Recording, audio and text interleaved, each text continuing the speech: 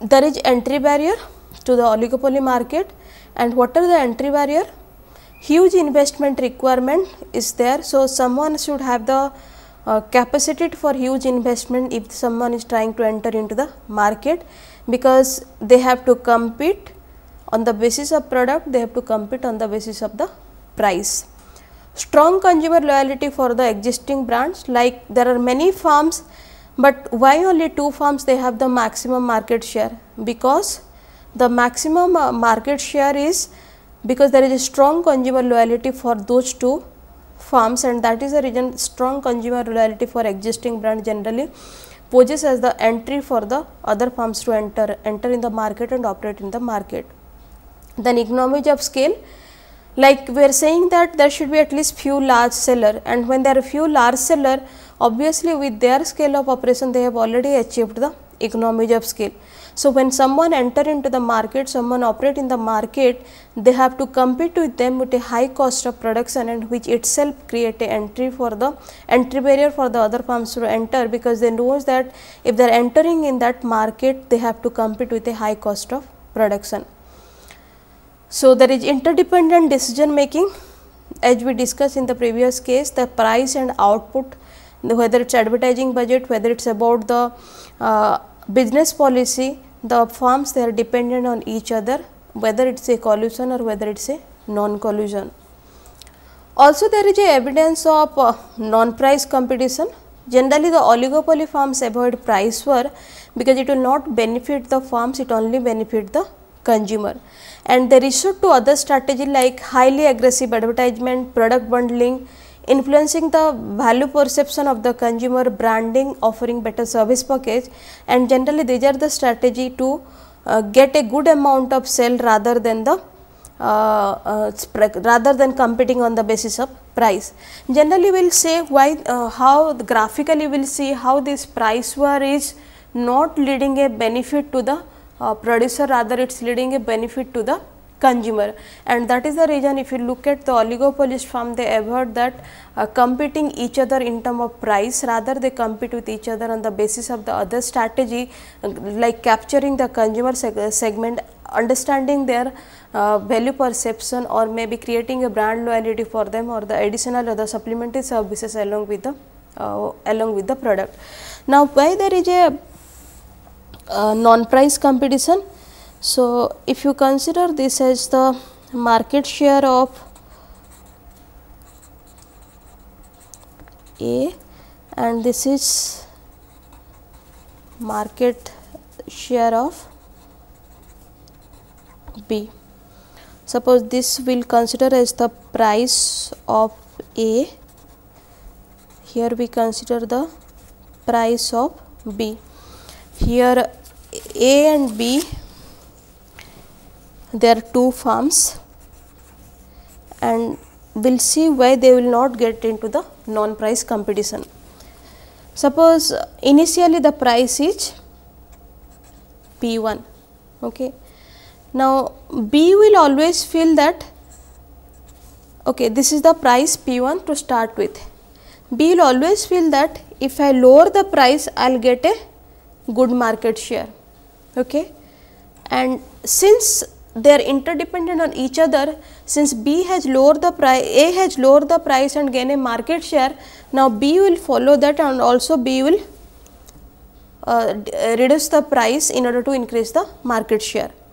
Now, again what will be the reaction of A knowing that B has already reduced the price to get the market share also A will reduce again and reduce the price in order to get the market share. What will be the reaction of B?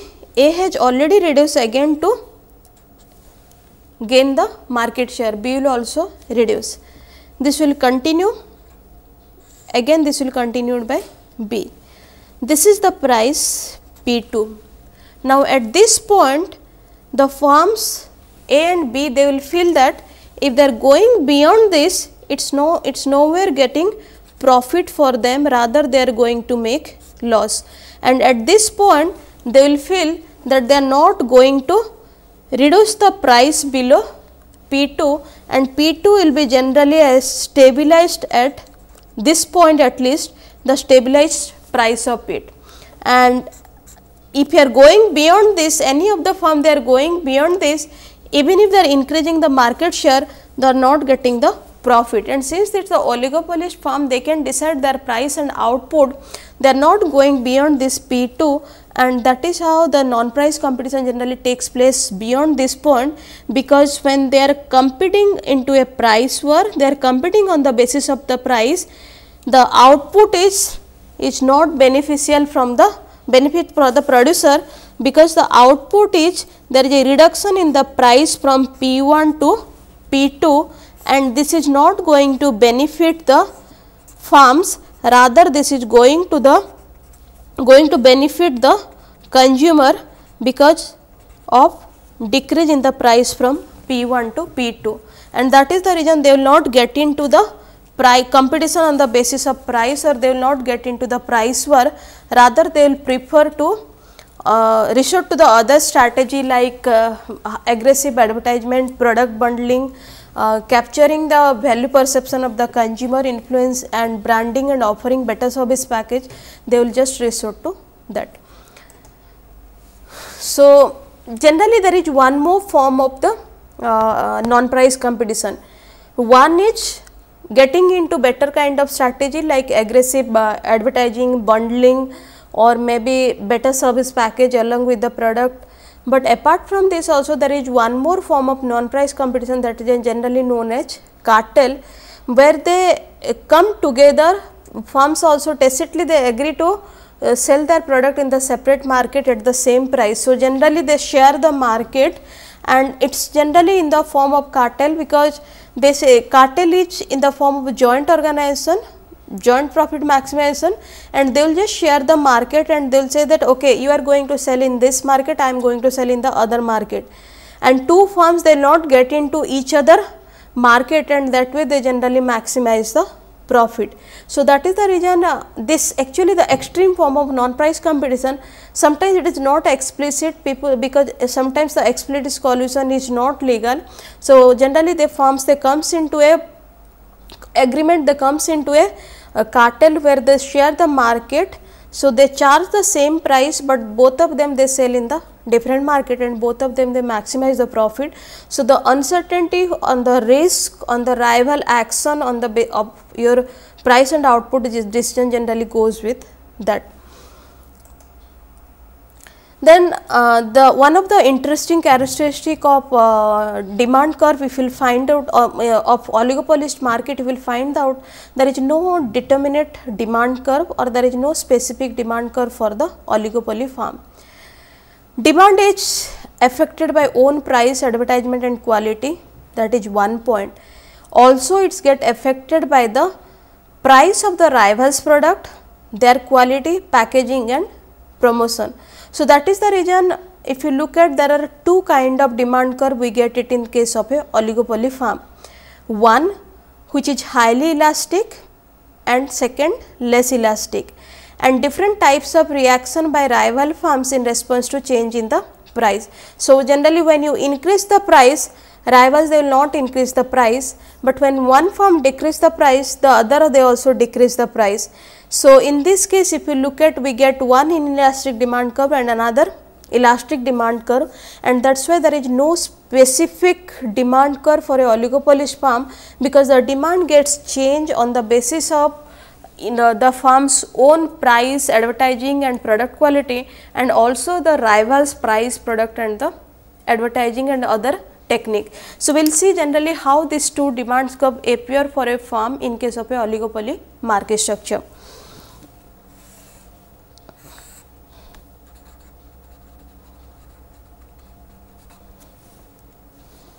So, this is one elastic demand curve and here is one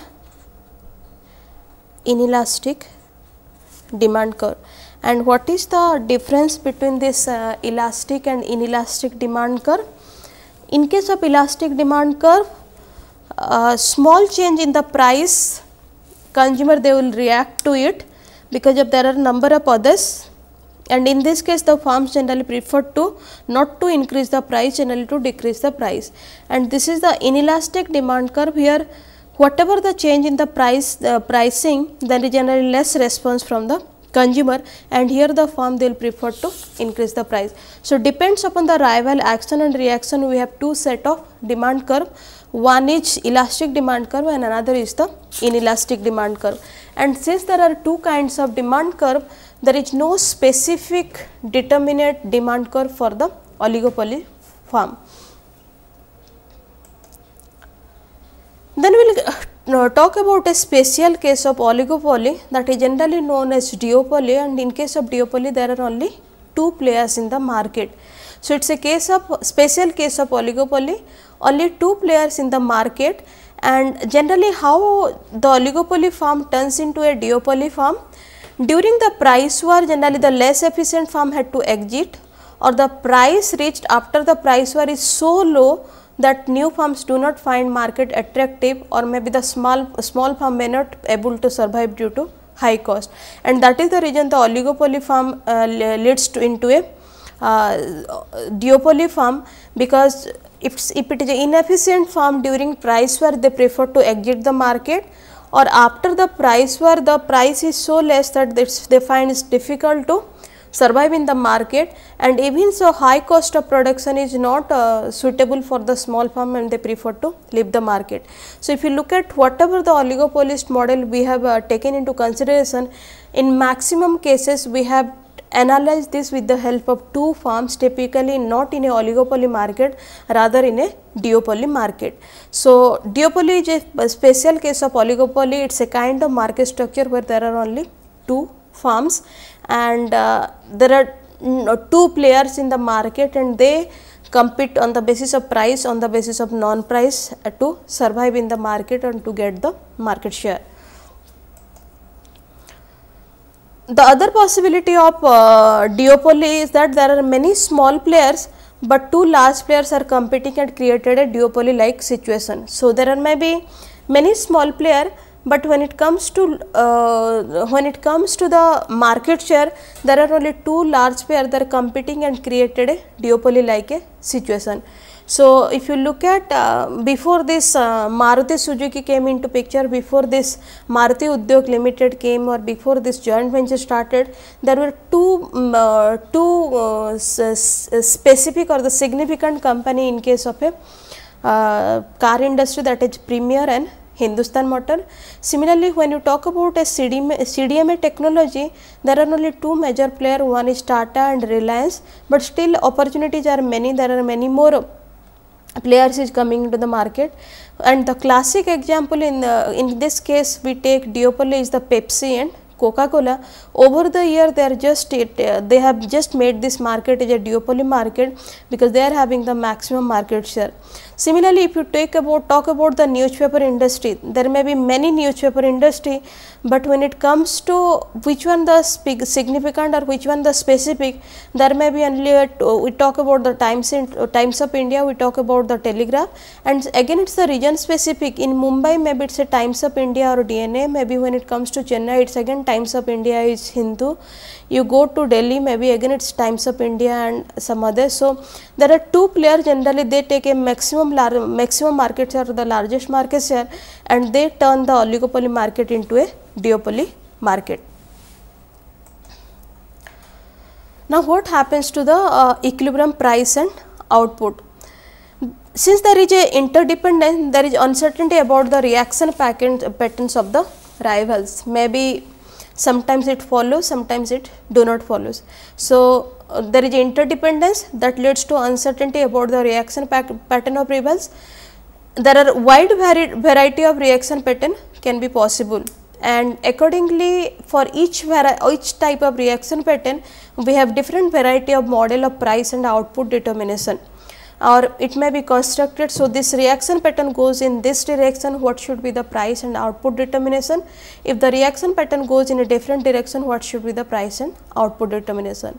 However, the actual solution is therefore indeterminate unless there is a specification of particular reaction pattern of the rivals. So, there is nothing generic price and output equilibrium price and output uh, case in case of a oligopoly market structure it is all situation specific and the situation is dependent on how the rivals they are reacting to change in the price of the or the change in the output, change in the advertising, change in the business goal of the other firm.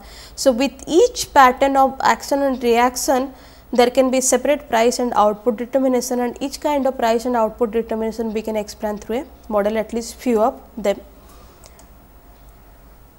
So, what is the common uh, we will start with our discussion in case of a non-collusive uh, oligopoly few models in case of non-collusive oligopoly and what is the common characteristic of a non-collusive uh, oligopoly?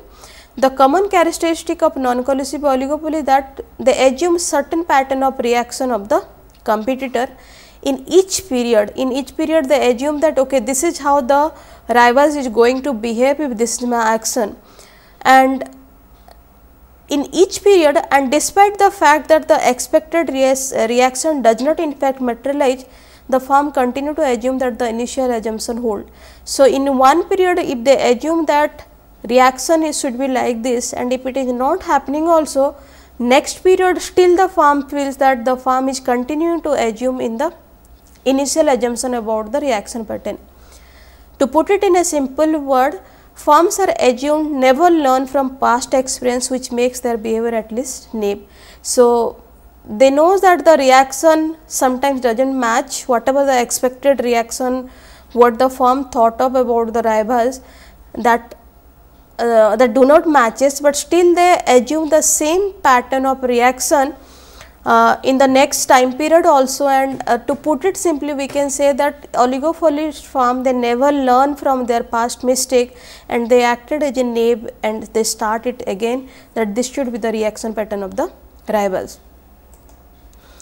So, we will uh, talk about three different model in case of a non-collusive model and we will start with the Cournot model and whether it is Cournot model, whether it is Stackelberg model or whether it is Kinked demand curve model, in all these three models we have not taken a case of a oligopoly market structure in general, rather we have taken it is a special case of duopoly, but there are only two firms and we will see how the price output determination is done in the, this specific scenario under Cournot model, under Stackelberg model and under Kinked demand curve model.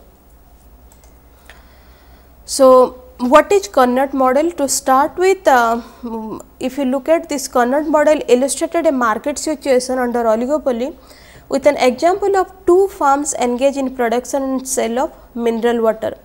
So, there are two farms in the market, it is a two duopoly farm, it is a duopoly market, two farms and both the farms they engage in the production and the sale of the mineral water. Each farms own a spring mineral water which is available freely from nature. So, they are into the business of production and sale of mineral water. Each farm own a spring mineral water which is available free from nature. They are not incurring any cost for the spring mineral water. The crux of this model is a situation in which farms ignore independence and take decision as if they are operating independently in the market.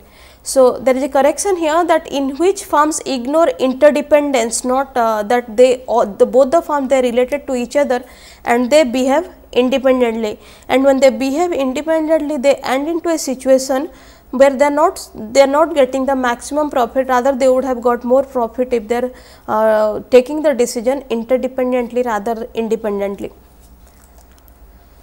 So, we take few assumptions to understand this uh, model of duopoly two interdependent sellers selling the homogeneous good. The homogeneous good is the spring water over here and there are large number of buyers in the market. So, if it is two sellers, but there are large number of buyers in the market, identical cost curve or we can say in this case since the mineral spring they are getting it from the nature H free, it has a zero cost of production. So, this is a very specific case that uh, we are getting something in zero cost of production, but here this is one of the assumption that each duopolist has a zero cost of production. And since they have a zero cost of production, ideally they have the identical cost curve. Each duopolist makes an output plan during a period which cannot be revised in that period. So, whatever the output plan for them in that particular period that cannot be revised in that period at least. If they want to revise they can do it in the next period, but that, that period they have to just go ahead with the whatever the output plan. Neither of the duopolists set the price, but each accept the price at which total planned output can be sold. So, they are not the price take price maker rather than the price taker and they accept the price of each product at which the total planned output can be sold each duopolist, each firm is aware of the mutual interdependence between their output plans, but each is ign quite ignorant about the direction and the magnitude of the revision in his rival's plan that would be induced by any given change in his own.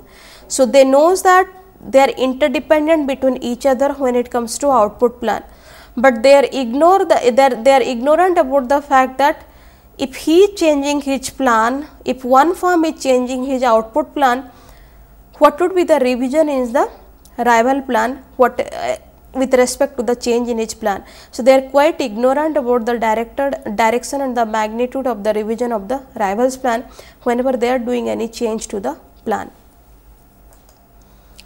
So, we will assume that Q1 and Q2 output level of two seller whose cost of production is 0.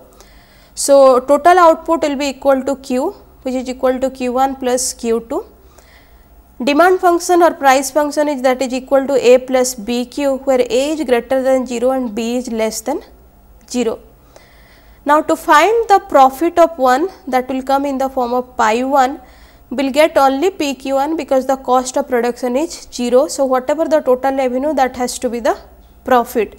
So, PQ1 is the A plus BQ multiplied by Q1 that is equal to A plus B Q1 plus Q2 multiplied by Q1 and pi 1 comes as a q 1 plus b q 1 square plus b q 1 q 2. There will be different combination of this q 1 and q 2 from which a fixed level of profit of the first seller can be obtained. You get different combination of this q 1 and q 2.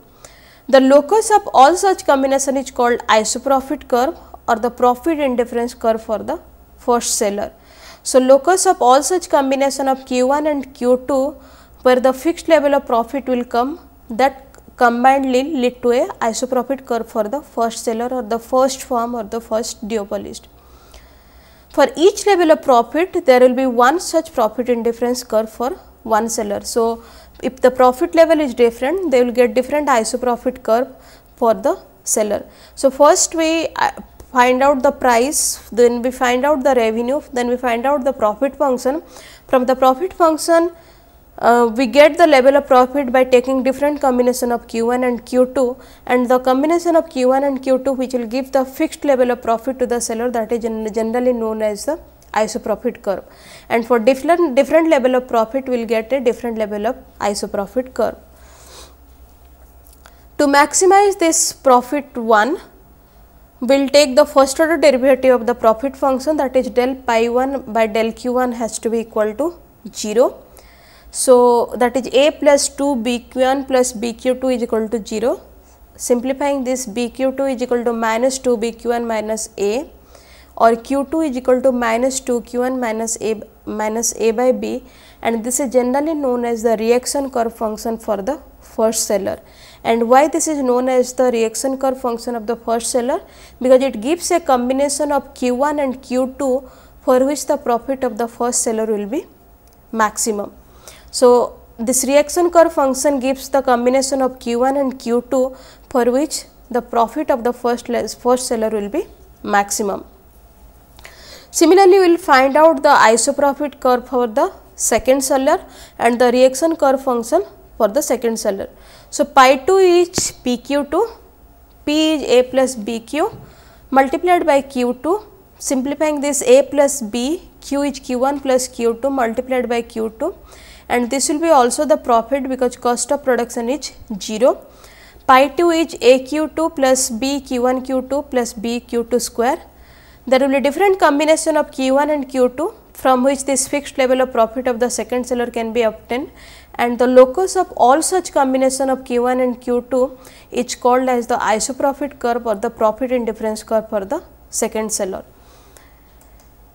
Then to maximize the pi 2 again we will follow the same format that del pi 2 with respect to q2 has to be equal to 0, a plus b q1 to b q2 that has to be equal to 0, 2 b q2 is equal to minus b q1 minus a and q2 is equal to minus half q1 a by 2b.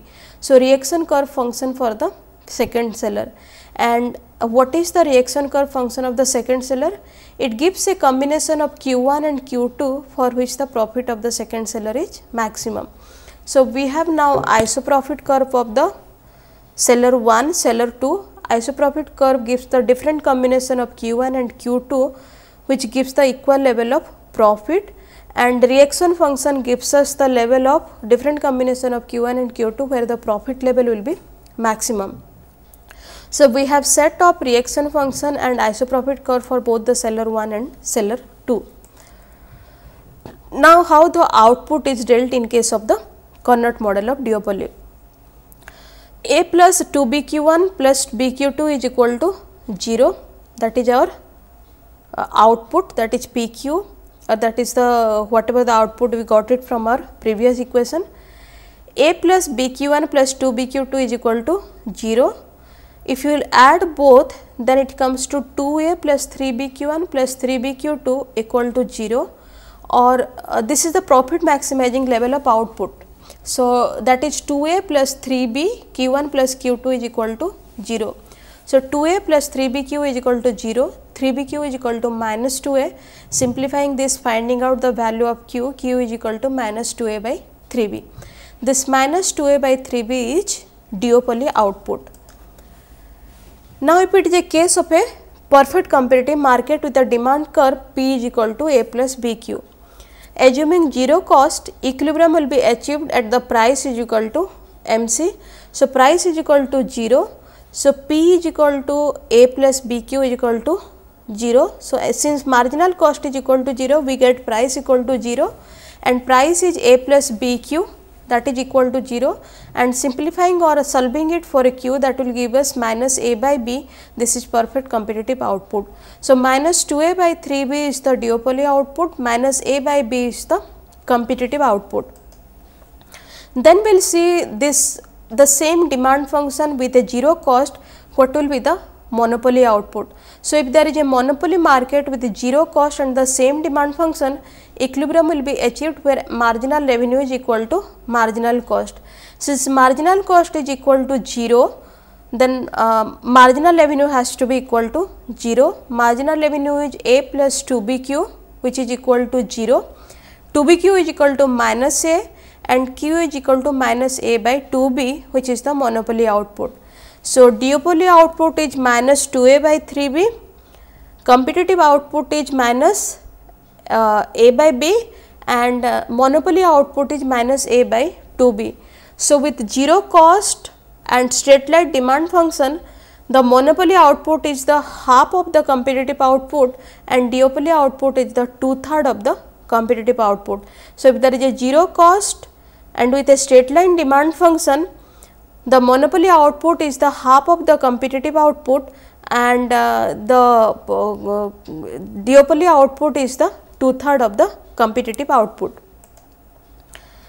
So, but then we will see this uh, graphical representation of uh, this Cournot model how this becomes the uh, how it comes to the equilibrium situation or how generally this equilibrium is stable in case of the Cournot's model.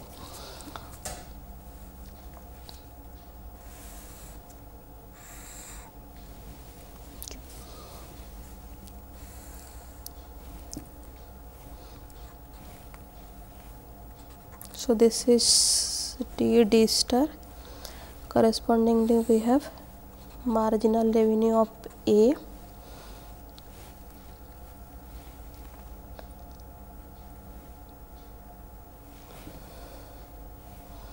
This is PA this is marginal revenue of B. This is QA, this is QB, this is price of A, this is price of B. Okay. Now, how this equilibrium takes place in case of Cournot model? There are two firms A and B. Firm A enter, they produce till marginal revenue is equal to marginal cost. Demand curve is D D star, marginal revenue is through this we find this, this is the QA level of output, OPA is the price. Now this QA is the half of the total output OD star. If you look at this OQA is the half of total output OD star. So A produce OQA that is half of the total demand. Now firm B will enter and assume that A will continue to produce one half of the total this OD's total demand of the market and that will come as the OQB. So, what the uh, firm B they will do now? Firm will be firm B will produce only QB because they know that firm A is grow, going to produce half of the total market demand. Now, what is the market demand available? Market demand is available as QA D star. So, he will just take half of it, he will produce assuming that the rest will get produced by the farm A. Now, what is the demand curve for the farm B? QA D star that is the output and A D star is the demand curve for the farm B and corresponding marginal revenue curve for farm uh, B is MRB. So, what is the output of QB? They will produce at the point where marginal revenue and marginal cost has to be equal to 0. So, B will produce this QA, QB, this is the amount he is going to produce. Price is OPB. So, now combining this A and B together, how much they are producing? A produce OQA and B produce QA, QB and B assume that since A is producing half of it, he only produce the half of it. So, together this, this is only the 3 fourth of the market, still there is 1 4 remain. So, this 1 4 remain not produced by either A or B. And next we will see uh, that generally how this uh, 1 fourth remain uh, not produced when you take in the different time period simply because that the farm B is not changing his assumption or farm A is not changing in assumption whenever they are doing a revised plan they are not looking into the rival action and reaction. So, we will continue our discussion on Cournot model in next class the again the graphical explanation of reaching to the equilibrium. We will take an example to understand this and we will discuss about the Stackelberg model and Paul Sweezy Kinked demand model in our next session.